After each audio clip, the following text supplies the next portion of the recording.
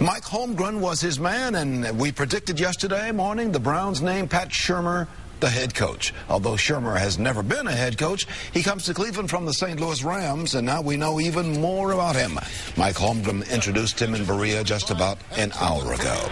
News Channel 5 Sports Director Andy Baskin joins us live from Browns headquarters with the details. Andy, what can you tell us?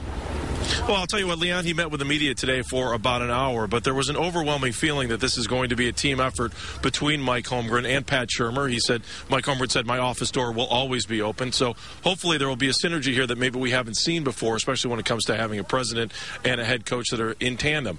Now, when you talk about Shurmur, one of the other things that Holmgren discussed today was the fact that we've been here now every two years, and the fact that this team can't keep switching coaches is a part of the consistency that they need. They have have to stay with one coach. And Mike Holmgren said he hopes this is his last hire. There's a lot of things I'd like to say. Um, I do know this. As you as you talk about our team and the goals for this team, it's very simple. We're trying to win football games. Uh, our goal is to win uh, the AFC North, to compete in the playoffs and win Super Bowls.